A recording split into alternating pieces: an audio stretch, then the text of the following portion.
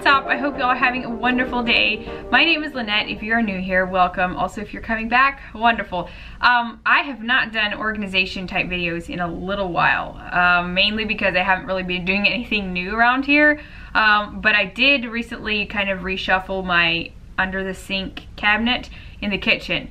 And also, I wanted to just do a little bit of a quick uh, tour of my refrigerator. I haven't done one in probably over a year I'd say it, that was one of my first videos I ever put out on YouTube. And so I thought I'd just kind of give you guys a little update and maybe it'll inspire you guys and help you in some way.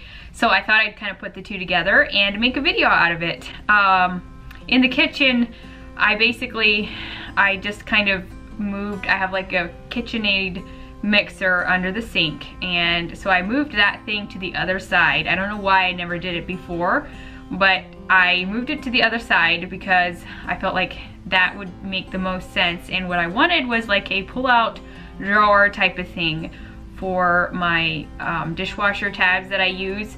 And also that would give me another level of um, like a, a, level surface to put something on. So I ended up putting my Grove collaborative um, bucket there with just some cleaning items that I use in the kitchen my dish wand and also um, like my method dish soap refill and whatnot. So this can kind of change around quite a bit. It won't necessarily stay like this, but uh, also, and then I put a little DIY Lazy Susan on the lower shelf. I'll still probably look for something uh, a little nicer, um, but for now this is working and I had kind of, I took this out of another cabinet, so I just have some extra kind of cleaning and well, like dishwasher rinse aid and some other type of cleaners and stuff. I'll just keep that there as well.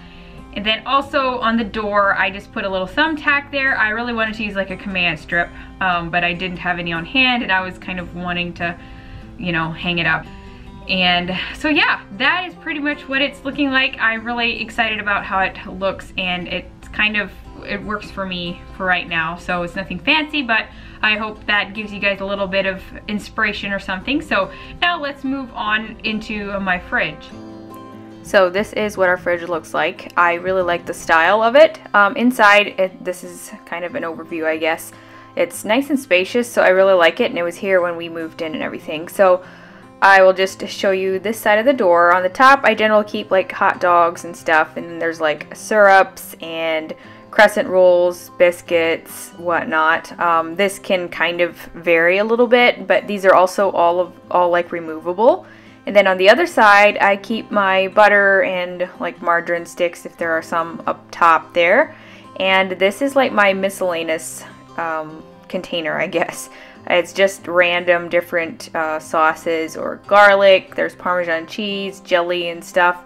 And then I kind of have my condiments in this one. Um, fairly self-explanatory. And then my dressings down on the bottom one. So yeah, that works out really well for me. And then moving into the bottom wide drawer, it's not very deep, which I wish were a little bit deeper, but um, I do like it. I generally keep like my meats, fresh meats and stuff, and overflow vegetables, as you can see there. I have uh, a ton of peppers right now. But anyways, um, that being said, yeah, that, and then normally I have like tortillas and stuff in the bottom.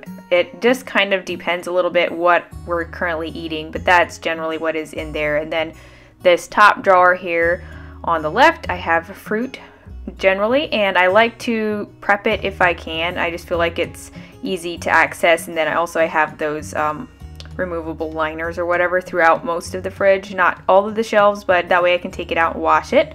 then the middle drawer is usually for vegetables. Also, I'm trying something with cilantro. I had googled it trying to figure out what's the best way to keep it fresh and they said to put it in water and a baggie over top so we're trying it. And then this jar I have all of my cheeses cream cheese shredded cheese whatnot. And you'll see that I have various different bins and stuff. Um, I have bread in the back basket. I tend to keep my bread in the fridge because I feel like it keeps it longer. If we don't eat you know, a ton and sometimes it keeps it better. And then I also have a thing for yogurt that came from Dollar Tree. Just acts as like a pull-out drawer. And second shelf is mostly for leftovers usually. And the top shelf, I have a Lazy Susan, which is one of my favorite organizing products, as you know, if you've been watching me. And that usually I just have different types of round containers that we're currently using and stuff. And then the very back shelf I have eggs. And then these two shelves are generally for drinks and milk and stuff. The two on the left. So down in the bottom I have like an upper smaller shelf that pulls out. I've just got some shrimp and decaf instant right there along with like freezer packs. In the middle one I have fruit smoothie makings, frozen stuff, and then also I have vegetables over here. And these containers are both from Dollar Tree and it just helps kind of keep things contained. In the bottom drawer I have two or actually three more containers from Dollar Tree. And then on that side I have meat there in the back corner and then like ice cream and there's some waffles in the other container. Then on the right hand side I kind of have my potatoes and there's some bread and chicken nuggets this varies a little bit but generally that's kind of how it looks I try to keep things separate it just works a lot better for me. So I hope you all enjoyed the video. Thank you so much for watching. If you're new here, I'd love to have you subscribe and join my channel. Also, if you liked the video, please give me a thumbs up and a comment down below. Give me some ideas or what you liked best and that kind of thing. So thanks so much for watching, guys. I'll see you guys later. Bye.